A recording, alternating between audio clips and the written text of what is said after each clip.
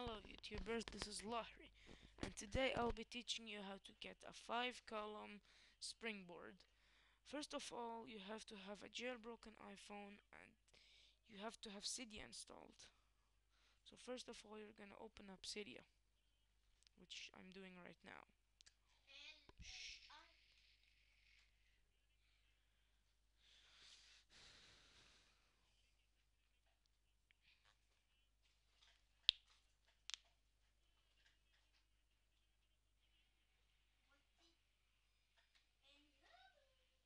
We're gonna go to search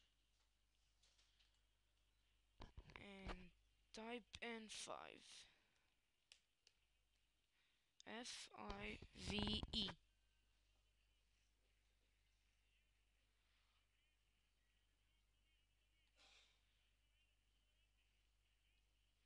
Then go down to the F section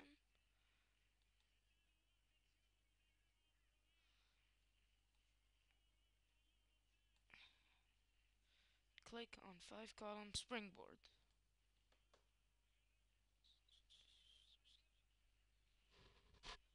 So you're gonna, here it will be installed, you will press it and uh, confirm and then you will go back to your home screen and it should look something like this.